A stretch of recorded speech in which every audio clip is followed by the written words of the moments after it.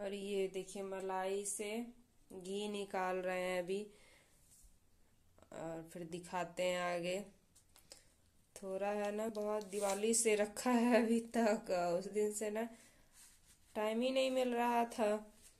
तो अभी बोले हैं, कर देते एकदम पूरा देखने लग रहा है घी ऊपर आ गया ऐसा हो गया अच्छा ये मलाई रखे हुए। अभी निकालते हैं। ये देखिए घी। निकल गया है। थोड़ा रहता है ना तो हाथ से ही निकालने में सही रहता है कि हाथ से निकाल लो। जो आदत है ना, हाथ से निकालने का, वही लगता है कि अच्छा यही है कि हाथ से ही निकालो। नहीं तो मिक्सी में रहता है क्या? मिक्सी में डालो, पूरा उसमें उतना लगेगा। हाथ से निकाल लो, हो गया जो है।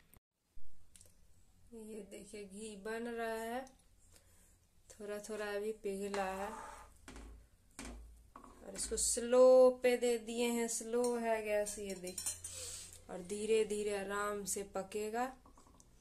तो अच्छे से पक जाता है। उसे तेज करने के बाद ना जलने लगता है।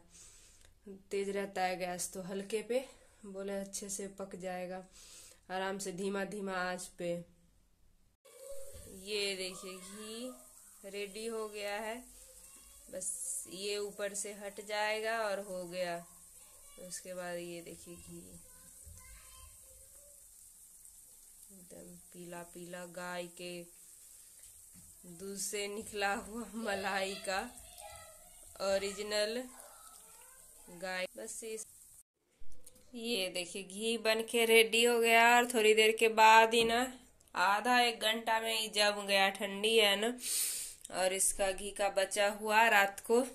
इसमें नमक मिला के खा लेंगे और इसको ना थोड़ा और पिघला के फिर डब्बा में डालना पड़ेगा।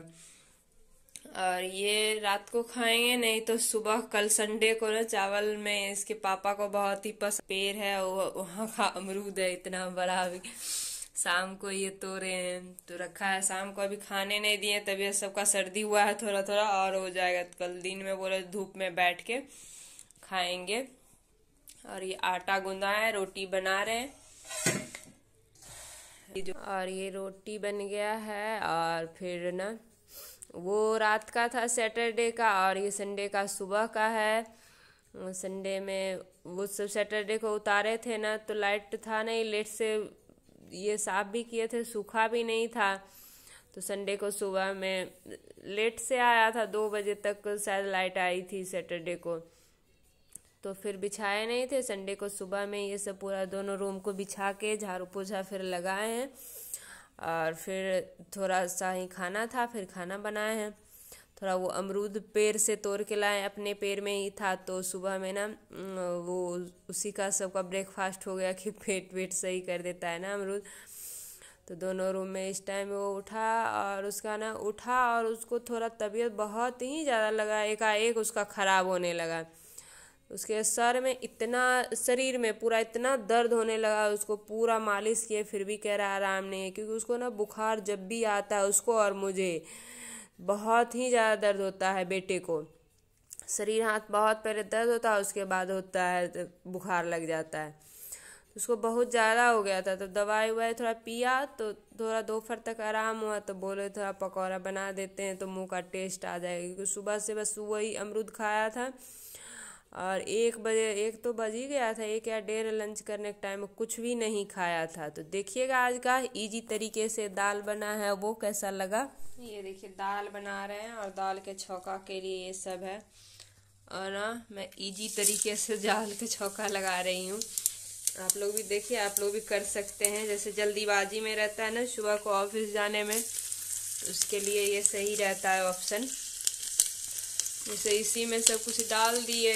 तेज पत्ता और मिर्च, जीरा और लहसुन और फिर प्याज।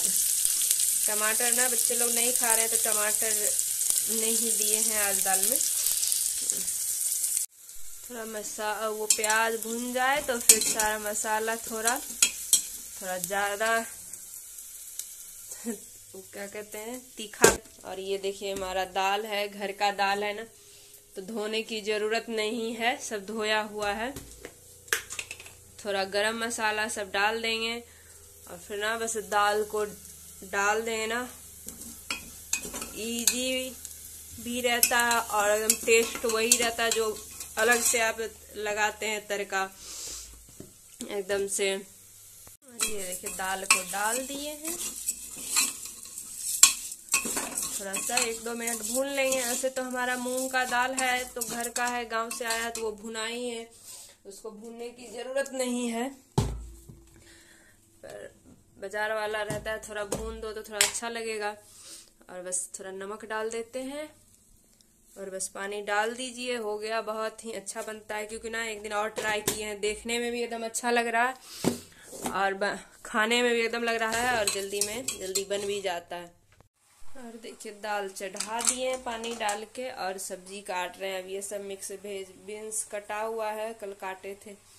और शिमला मिर्च है, बैगन है, एक आलू लेते हैं। और इसी सब का मिक्स भेज सब्ज़ी बनेगा। और फिर चावल, दाल बन जाएगा, फिर इसी में चावल बनेगा। इसमें ना दूध डालें गर्म होने। चलिए सब्ज़ी बनाते हैं, फिर दिखाते हैं।